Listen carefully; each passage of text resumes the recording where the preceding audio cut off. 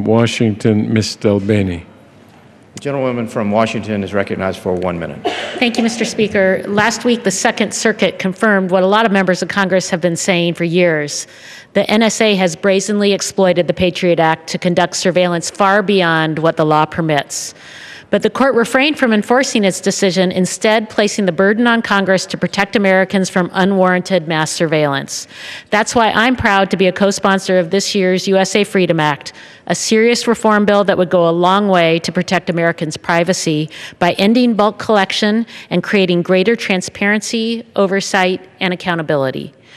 After the House acts today, it's up to the Senate to Senate leaders to pass these reforms or let the expiring provisions of the Patriot Act sunset on June 1st because a clean reauthorization is absolutely unacceptable. I urge my colleagues in each chamber to support this critical effort to end bulk collection and protect both Americans' privacy and America's security. And I yield back. Gentlelady yields back. The gentleman from Michigan